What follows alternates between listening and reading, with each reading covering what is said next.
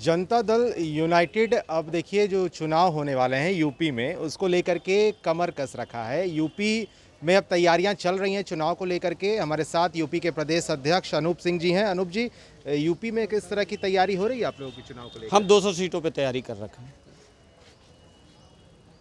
और शीर्ष नेतृत्व अगर कोई निर्णय लेता है गठबंधन का तो गठबंधन में जाएँगे।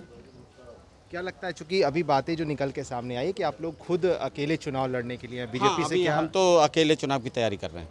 अकेले? हम्म। क्या बीजेपी से कुछ बात वैसी बनी है? वो शीर्ष नेतृत्व को मालूम है हमें अभी कुछ नहीं मालूम यूपी में इस बार किन मुद्दों पे चुनाव लड़ेंगे हम बिहार मॉडल और बेरोजगार नौजवान जो लड़के बच्चे हैं और किसान की समस्या ये सब लेके जाएँगे क्षेत्र में। अहम मुद्दा कौन सा होगा इसका अहम मुद्दा तो बिहार मॉडल मुद्दा हमारा क्या बिहार मॉडल में जो यहाँ बिहार में जो काम हुआ है उस हिसाब से यूपी में काम नहीं हो रहा है। इस तरह से यूपी में काम ना। हो रहा है। चाहते हैं आप लोग इस बार चुनाव जो हो उसमें हम लोग जीते तो हाँ। बिहार मॉडल किससे मुलाकात हुई है अभी? अभी तो आज तो अभी किसी से नहीं है के सी त्यागी सर के इधर गए थे पता लगा वो भी इधर हैं। कुशवा जी से मिलने आए हैं। राष्ट्रीय अध्यक्ष जी का साढ़े तीन बजे हमें टाइम मिला है पार्टी कार्यालय में। देखिए, अनूप सिंह जी हैं जदयू के वहाँ कह सकते हैं यूपी के प्रदेश अध्यक्ष हैं और यूपी में इस बार तैयारी कर रहा है जनता दल यूनाइटेड। इस बार जो चुनाव होगी यूपी में, उसको लेकर के पूरे 200 सीटों पे चुनाव लड़ना है। ये बात यूपी के प्रदेश अध्यक्ष अनूप सिंह ने कहा।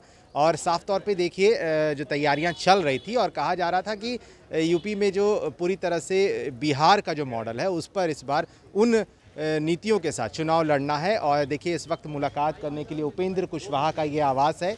जनता दल यूनाइटेड के संसदीय बोर्ड के अध्यक्ष हैं। उनसे मुलाकात होगी इन तमाम लोगों के जो यूपी से पहुँचे हुए हैं यहाँ पर। और उसके बाद जो है राष्ट्रीय अध्यक्ष ललन सिंह। उनसे भी साढ़े तीन बजे का वक्त है जब इन लोगों की मुलाकात जेडीयू के प्रदेश कार्यालय में होगी। तो तमाम ऐसी बातों पर आज चर्चा होनी है, या कि यूपी में, चूँकि के सी त्यागी ने पहले ही कह दिया है कि यूपी में जो तैयारियाँ हैं वो उसको लेकर के हम पूरी तरह से तैयार हैं। बीजेपी से अगर बात बनी तो हम गठबंधन के साथ चुनाव लड़ेंगे और नहीं तो फिर हम अकेले अपने दम पर चुनाव लड़ेंगे। कई तरह के ऐसे मुद्दे हैं जिसमें यूपी में इस बार चुनाव लड़ा जाएगा। देखिए, तमाम जो कार्यकर्ता हैं वो धीरे धीरे अब जनता दल यूनाइटेड के प्रदेश माफ़ कीजिएगा, जनता दल यूनाइटेड के संसदीय बोर्ड के अध्यक्ष उपेंद्र कुशवाहा से मुलाकात करने के लिए लगातार जो कार्यकर्ता हैं वो पहुँच रहे हैं और यूपी से आए जो तमाम लोग हैं, जो प्रदेश अध्यक्ष हैं वो पहुँचे हैं और आज बात होगी यूपी को लेकर के। आप बने रहें फ़र्स्ट बिहार झारखंड के साथ। नमस्कार।